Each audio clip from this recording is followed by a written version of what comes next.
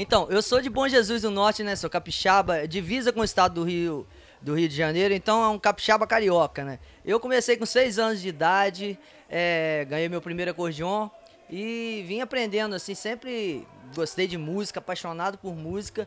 E desde criança eu trabalho com música, né? Hoje estou com 35 anos e 28 anos de carreira. meu pai adorava sertanejo. Meu pai faleceu, eu tinha 16 anos, né? Então ele sempre me incentivou. Mas eu com um ano e meio, dois anos de idade, eu, eu, eu ganhei um pianinho da minha tia, já fazia o parabéns nele. Então eu sempre tive um, um, os dois pés assim na música, né?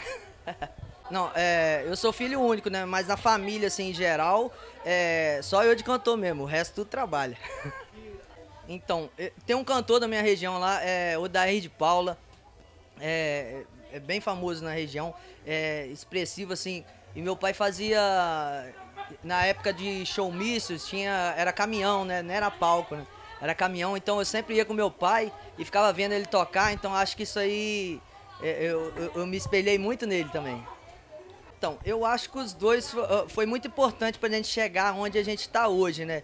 É, a internet inovou bastante, mas a gente não pode deixar de, de, de, de falar que antigamente as gravadoras e, e tal é, era um negócio mais gostoso, tipo assim, é mais. Como é que eu posso te falar? Mais pessoal, né? Era um negócio, era o disco de vinil, um negócio mais. É, a pessoa mesmo fazia. Hoje ficou muito eletrônico. Então, também, você lançava uma música, a música ficava um ano, dois anos aí na parada. Hoje na internet, tipo assim, a música estourou, é, daqui uma semana, duas semanas, você já tem que lançar outra, senão você não, você não consegue acompanhar o mercado. adiantou bastante, né? Chega bastante conteúdo pra galera, o povo ficou mais perto do artista. Então, eu acho que os dois foi muito importante. Eu, desde criança, assim, eu me espelhei em disco. Eu ainda peguei um pedacinho de disco de vinil, fita cassete e tal. Eu, eu, eu achava. Eu acho muito top até hoje. Mas a internet a gente deixou tudo mais fácil, né? Então, hoje estou aqui em, em, Aparecida, né? Distrito de, de Sapucaia. E amanhã vamos estar em Ital. Amanhã é Italva, Richard? Cadê o Richard? Nem tô vendo. Amanhã é Miracema, é, sábado é, particular em Talva e domingo é Guarnieri. Guarnieri, domingo, é distrito de Italva.